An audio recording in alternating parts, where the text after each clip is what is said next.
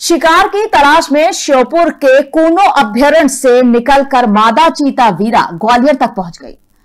वहाँ उसे आसानी से शिकार भी मिल रहा है और रहने के घास के मैदान भी।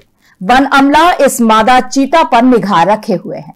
कूनो अभ्यारण्य के जंगल से बाहर निकलकर मादा चीता वीरा लगातार अपनी टेरिटरी बदल रही है। उसे मैदानी इलाकों का घास से भरा जंगल बहुत रास आ रहा है। यही वजह है कि मादा चीता वीरा ग्वालियर के मोहना फॉरेस्ट रेंज के आसपास लगातार अपना मूवमेंट बनाए हुए है। इससे पहले उसे घाटी गाँव के जंगलों में देखा गया था। मादा चीता वीरा अपने शिकार की तलाश में लगातार भटक रही है। वन विभाग के अधिकारियों के मुताबिक वीरा अब तक तीन बकरियों का शिकार कर चुकी है।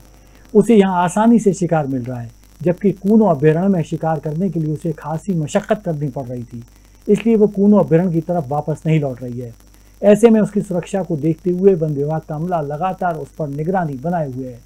चीता वीरा को वापस कूनो अभ्यारण्य में भेजने के तमाम प्रयास किए जा रहे हैं, लेकिन फ़िलहाल तो उसका नया ठिकाना ग्वालियर के जंगल बने हुए हैं। गाँव वालों को जो है दूरी बना के रखने के लिए यानी कि बोला गया है और साथ में ये भी ये कहा गया है कि जब कभी इस टाइप से घटना होती है तो तुरंत उनको मुआवजा देने का भी प्रावधान है तो डायरेक्ट केस भी यानी कि दिया जा रहा है। तो वो जो कि शासन की योजना के अंदर ही है।